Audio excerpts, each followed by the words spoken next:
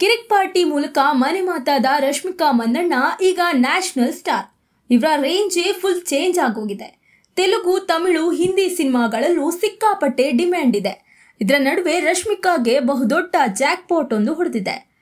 ರಶ್ಮಿಕಾ ಮಂದಣ್ಣಗೆ ಗೀತಾ ಗೋವಿಂದಂ ಸಿನಿಮಾ ಬಳಿಕ ಅದೃಷ್ಟವೇ ಬದಲಾಗಿ ಹೋಗಿದೆ. ಯಜಮಾನ, ಪುಷ್ಪ, ವಾರಿಸು ಸೇರಿ ಮಾಡಿದೆಲ್ಲವೂ ಬ್ಲಾಕ್ ಬಾಸ್ಟರ್ ಸಿನಿಮಾಗಳೇ. ಪುಷ್ಪದಲ್ಲಿ ಶ್ರೀವಲ್ಲಿಯಾಗಿ ಸೊಂಟ ಬಳಕಿಸಿದ ಮೇಲಂತೂ ವ್ಯಾಲ್ಯೂ ಇನ್ನೂ ಹೆಚ್ಚಾಗಿ ಹೋಗಿದೆ. ಈಗ ಪುಷ್ಪ ಟೂ ಸಿನಿಮಾ ಮೂಲಕ ಕ್ಯೂರಿಯಾಸಿಟಿ ಮೂಡಿಸಿದ್ದಾರೆ.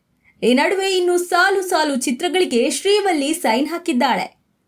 ಸದ್ಯ ರಶ್ಮಿಕಾ ಮಂದಣ್ಣ ಬರೋಬ್ಬರಿ ಎಂಟು ಸಿನಿಮಾಗಳಲ್ಲಿ ನಟಿಸೋಕೆ ಮುಂದಾಗಿದ್ದಾರೆ.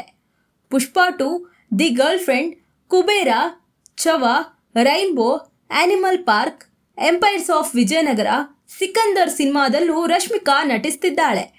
ಎಂಟು ಸಾಲು ಸಾಲು ಚಿತ್ರಗಳನ್ನು ಕೈನಲ್ಲಿ ಹಿಡ್ಕೊಂಡಿರೋ ಶ್ರೀವಲ್ಲಿ ಈಗ ಫುಲ್ ಬ್ಯುಸಿ ಇನ್ನು ಎರಡು ಮೂರು ವರ್ಷಗಳ ತನಕ ಶ್ರೀವಲ್ಲಿಯನ್ನ ಟಚ್ ಮಾಡೋಕ್ಕೂ ಯಾರಿಗೂ ಆಗಲ್ಲ.